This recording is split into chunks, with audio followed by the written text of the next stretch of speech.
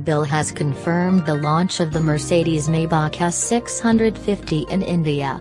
The range-topping model in the Mercedes-Maybach S-Class saloon range will be launched at the Auto Expo slated to kick off on February 7, 2018. The Mercedes-Maybach S650 saloon is 5,462 mm long, 1,899 mm wide and 1,498 mm tall. It has a 3,365 mm wheelbase. Under the hood resides a 6.0-liter biturbo V12 petrol engine that puts out 630 PS and 1,000 Newton-meters of torque.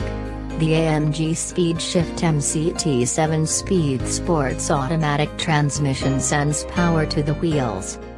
On the outside, the Maybach S650 saloon features a radiator grille with vertical chrome bars as well as three twin louvers with Maybach lettering, multi-beam LED headlamps with ultra-range high beam, V12 lettering on front wings, closing aid for doors and boot lid, LED rear lights, chrome-plated twin tailpipes and LED rear fog lights.